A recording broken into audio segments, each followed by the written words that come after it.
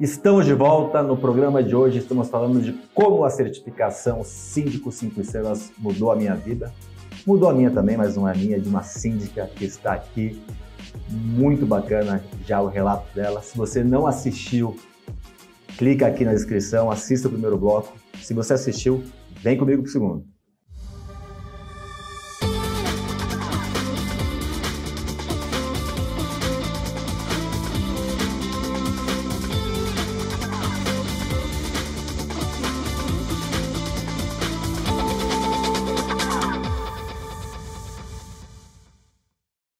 A nossa convidada é a síndica profissional de Indaiatuba, síndica certificada 5 estrelas, Viviane Ribeiro.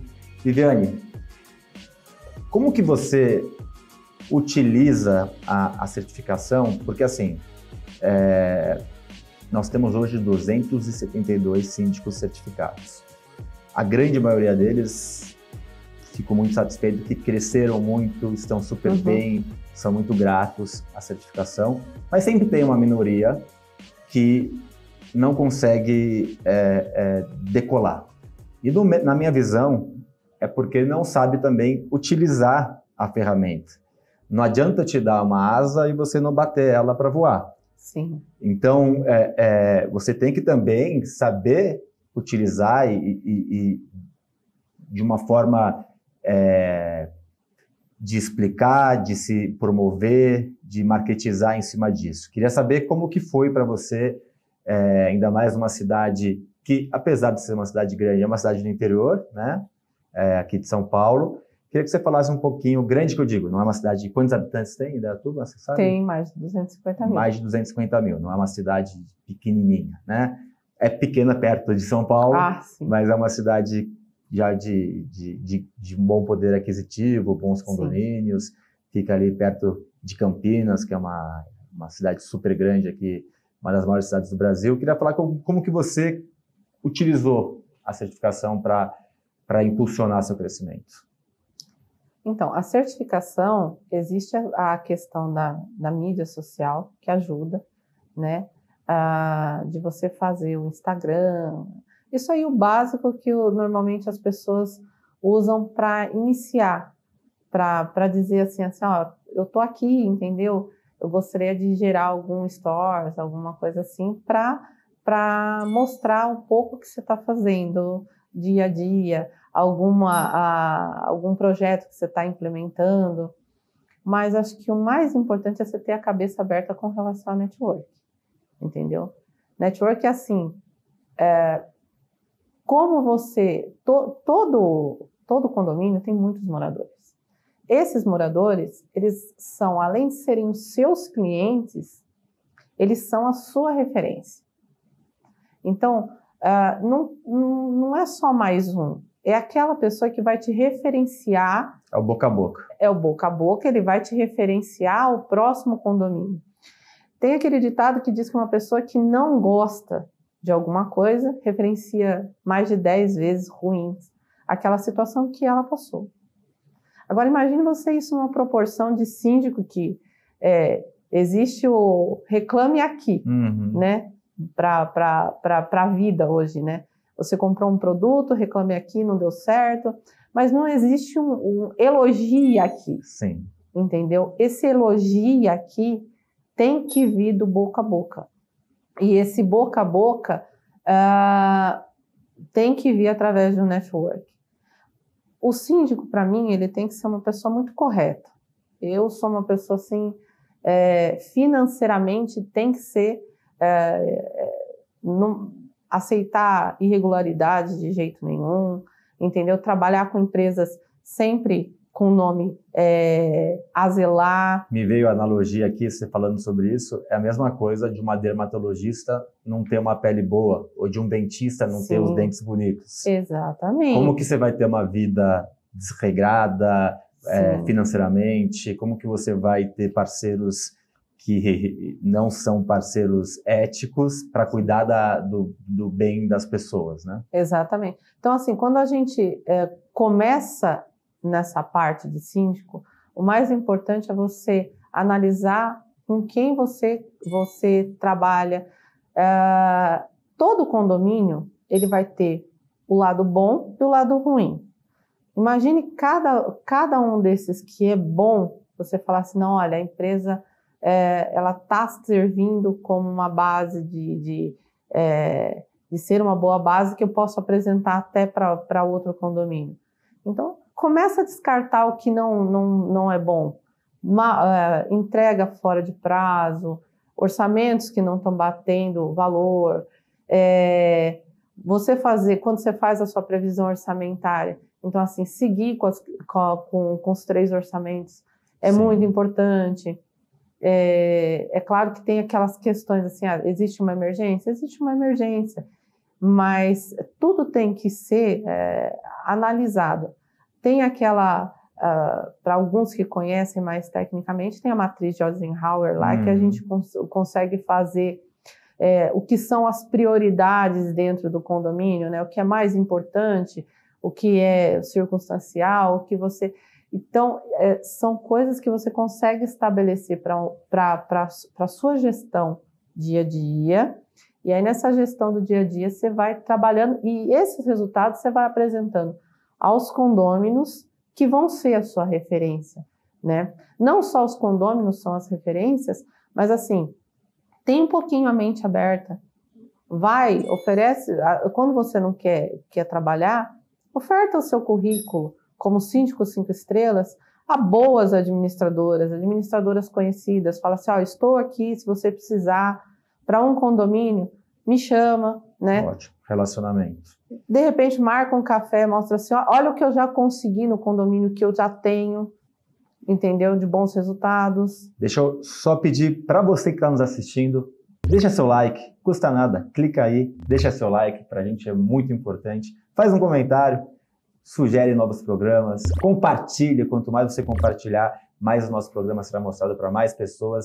E a gente tem mais de 1.900 vídeos, quase 2.000 vídeos à disposição de vocês vários programas, mais de 10 programas semanais. Estamos também nas principais plataformas de podcast. Lá estamos com o nome do programa, que é o Condomínio Pauta. Aqui estamos como Conte TV. Lá como Condomínio Pauta, com bloco 1, bloco 2 e um extra exclusivo para quem está nas plataformas de podcast.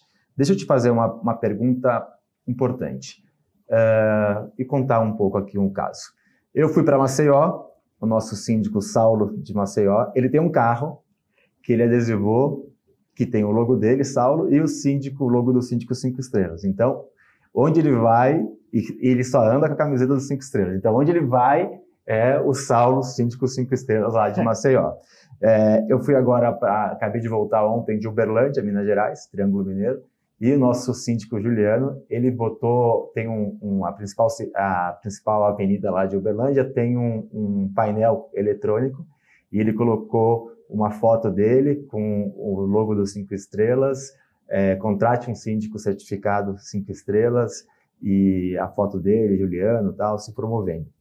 Você deu uma dica interessante que é você falar para as pessoas, para as administradoras, para as incorporadoras, ofertar o seu, o seu trabalho explicando a certificação. Você usa a, a, a camiseta polo dos cinco estrelas. Isso vai te linkando né, a, a marca e mostrando autoridade. Nas apresentações que você faz, quando você, nesses sete condomínios que você conquistou aí nesse período curto, você você tem um slide que você fala da certificação? Sim. Como que você pro, se, se promove através desse, dessa conquista tão grande que você teve?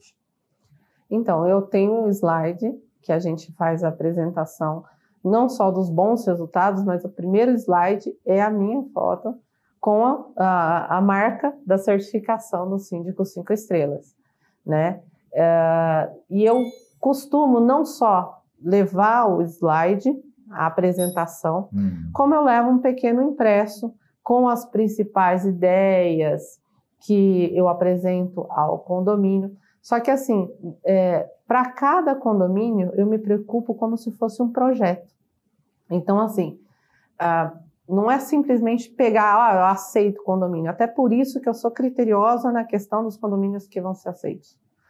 Então, assim, cada condomínio é uma questão muito séria. Então, é um projeto novo.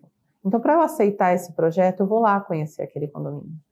Eu vou lá entender, é, mesmo que eles não saibam, eu fui lá informalmente, tentei conversar com alguns moradores, fui é, conhecer a estrutura física daquele condomínio, para que eu possa apresentar as melhores soluções antes da apresentação da Assembleia. Porque eu chegar assim com uma receita de bolo, jogar lá e falar assim, ah, é, é, é, o praxe para todo mundo, não vai Mesmo dar porque certo. não tem receita de bolo para condomínio. Não dá. Você tem que chegar e apresentar o que você vai poder fazer, pelo menos é, o primeiro projeto que você imagina que pode ser feito naquele local que você estabelece.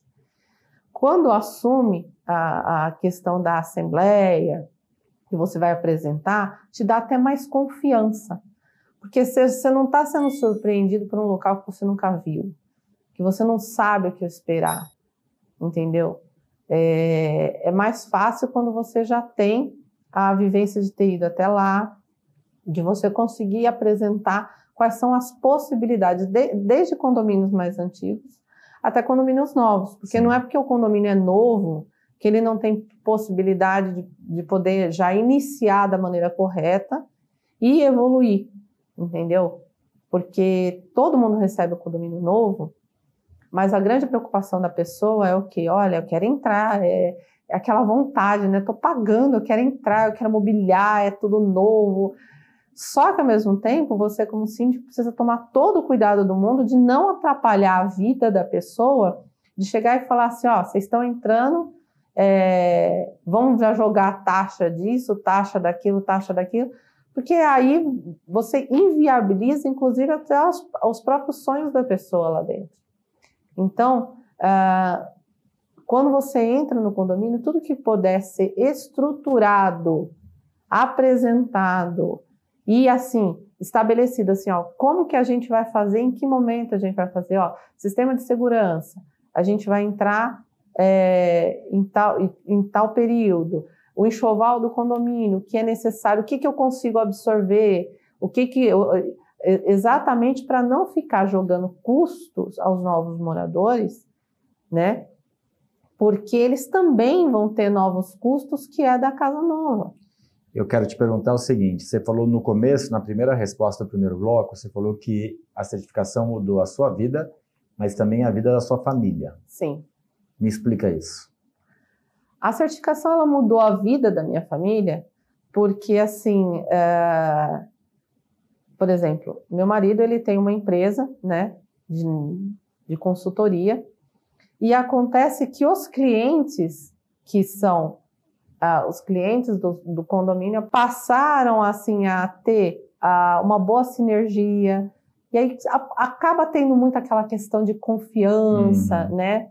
e acabaram nos apresentando para uma rede de contatos, que é o que eu te falei, o network da cidade, onde hoje é, eu, eu tive uma abertura, por exemplo, eu, eu vou na prefeitura, eu, eu converso com relação a, a ajudas que eu preciso dos condomínios para a prefeitura, eu consigo ajudar com relação ao Rotary, eu tenho um grupo dentro da cidade que eu participo, que é a Igreja uma das principais igrejas da cidade lá, é, onde a gente também faz trabalho voluntariado. Então, a, a, é todo esse network fora é, outros grupos que a gente acaba é, acabam conhecendo o nosso trabalho, vendo que é trabalho sério.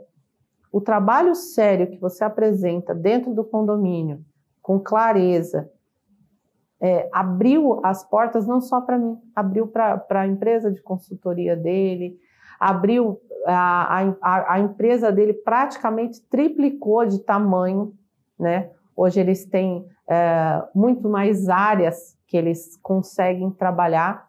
Eles conseguiram uma parceria com uma empresa é, que acabou é, junto deles, que é uma empresa americana. Bacana. Então hoje eles fazem parte de um grupo. Então é, por quê? Justamente pelo bom trabalho com esse tipo de cliente. Então, quando você apresenta bons resultados, resultados coerentes, com a preocupação a do cliente... A credibilidade da síndica passou para a credibilidade da família. Passou para a credibilidade da família. E assim, a, a, a minha família hoje, é, hoje a gente tem uma, um, um, um network, um conhecimento não só restrito às questões de Indaiatuba, né? Hoje eu tenho convites uh, é, para Campinas, para Montemor, para para Salto, já tive convite para Itu. Então, assim, como é, eu prezo pelo bom atendimento daqueles que eu estou, eu acabei é, centralizando naquela Sim. região de Indaiatuba. Mas, se você for ver, abriu de uma maneira que eu jamais ia imaginar. Até é, em Salto, Prefeitura de Salto, quando a gente precisou de, de, de auxílio, de ir lá tirar dúvida com relação ao porquê que lá era diferente da, da outra prefeitura, a gente conseguiu. Então, assim, a gente tem muita abertura e o pessoal, pelo menos lá da cidade, são pessoas assim, é uma cidade muito família ainda. Sim. Né? Então, eles prezam muito por aquela questão, assim, da confiança. Muito legal, muito legal. Vou chamar o quadro O Olhar do Síndico e perguntar para o meu amigo Demetrios Makedonopoulos. E aí, Demetrios, a certificação Síndico 5 Estrelas mudou sua vida? Como a certificação Síndico 5 Estrelas mudou a minha vida?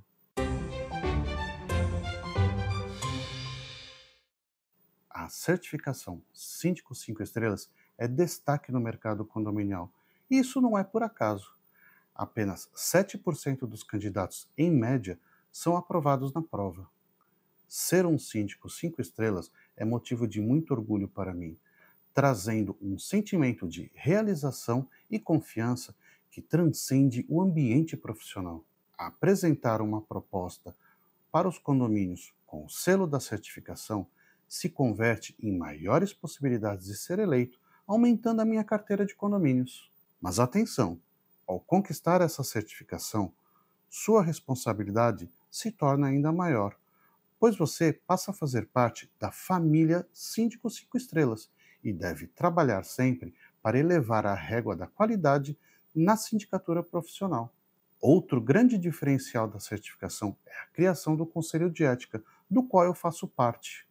Mais uma vez, a certificação Síndico 5 Estrelas está fazendo história, trazendo mais qualidade para o mercado condominial. E é por isso que eu estou aqui vestindo um manto sagrado dos síndicos cinco estrelas, ostentando todo o meu orgulho por fazer parte dessa constelação. Vejo você no próximo programa. Bom, Viviane, muito legal sua história.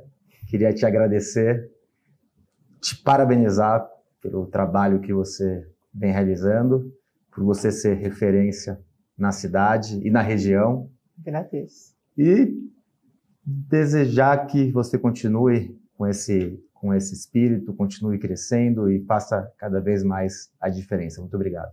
Muito obrigado a todos. Foi um prazer estar aqui. É, e é, eu me sinto aqui na Gávora em casa, porque o pessoal é muito acolhedor Você mesmo. Você está em casa. Você está em casa. E você, temos um encontro marcado semana que vem com mais um programa com informações importantes para a gestão do seu condomínio ou dos condomínios que você faz a administração. Até semana que vem.